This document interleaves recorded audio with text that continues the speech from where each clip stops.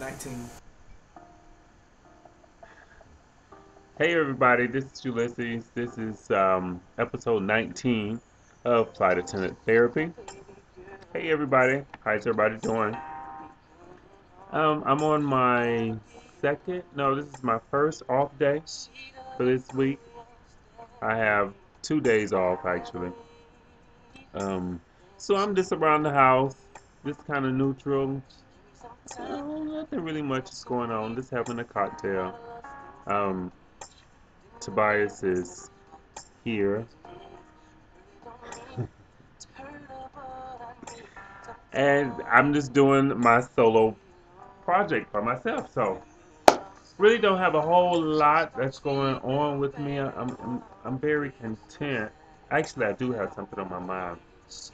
Um, just want to touch on this relationship of about guys or dating or whatever you want to call it.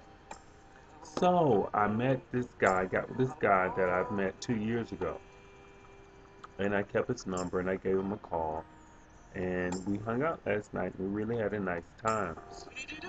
So I was questioning myself if I should just follow up and call, not because you know here in Atlanta, it's pretty much where the players live.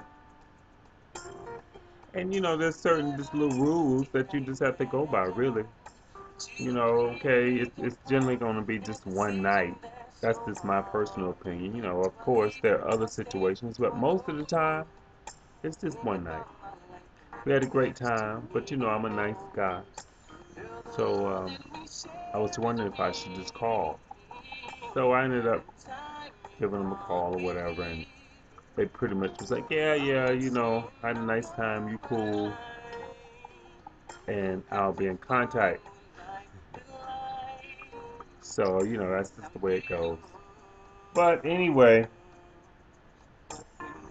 that's about it. I'm gonna stop this. I don't like that. Stop.